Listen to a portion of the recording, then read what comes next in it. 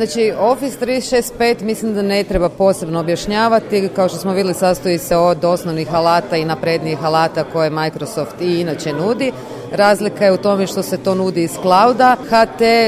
koji je, koji je implementirao znači ICT Marketplace preko kojega nudimo i ostale cloud usluge će omogućiti malim i srednjim poduzetnicima da preko istog marketplacea može i kupovati i upravljati Microsoft Office 365. Bit, e, u ponudi ćemo imati nekoliko različitih paketa, korisnici sami mogu kupovati pakete, mogu ih mijenjati, mogu dodavati, oduzimati, znači prema potrebama koje imaju će preko marketplace vrlo jednostavno, automatizirano i u vrlo kratkom vremenu, znači na klik, kao što je rekao gospodin Vidaković, click and run, moći provizionirati Microsoft.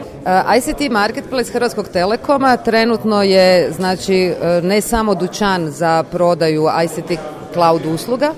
pod kojima imamo znači infrastrukturne usluge u oblaku, imamo softverske usluge u oblaku, imat ćemo Microsoft Office 365. Već je to i sustav preko kojega korisnici sami mogu na vrlo jednostavan način upravljati vlastitim uslugama. Znači sve usluge se automatski provizioniraju, uključuju, znači može se dodavati recimo kod infrastrukturnih usluga je omogućeno automatsko, vrlo jednostavno u kratkom roku provizioniranje, znači vi možete server sebi osigurati u par minuta, imate server kapaciteta koji vam odgovara, možete uzeti standardni kapacitet, možete ga mijenjati. Ako kupujete softvere kao uslugu, možete isto tako vrlo jednostavno dodavati korisnike, isključivati mijenjati, upravljati sami sa svojim uslugama kako vam je potrebno. Vrlo prilagodljiv sustav i vrlo jednostavno, znači taj sustav s jedne strane on je e, isto tako portal preko kojeg korisnik može kupovati, ali ono što je za korisnika bitno je da on preko tog sustava može sam upravljati sa svojom uslugom. Znači ne treba e, ići od računala do računala da bi posjetirao nešto, ne treba